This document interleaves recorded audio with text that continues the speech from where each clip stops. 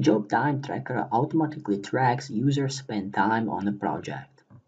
In this dialog box you can see the total spent time, plus these properties start time, spent time, and number of commands and operation issued in the individual Revit sessions. You can also preset inactive time intervals, which are not counted toward to the total project time. I will now perform some changes in the project.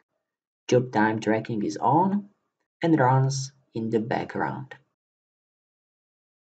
I will click into the dialog box only when I need to show the current information about the tracked time.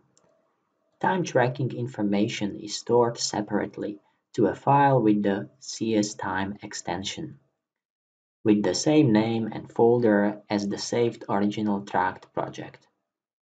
So if I transfer my Revit files to a different machine, and I want to transfer also the time tracking information, it is necessary to transfer also this CSTime file.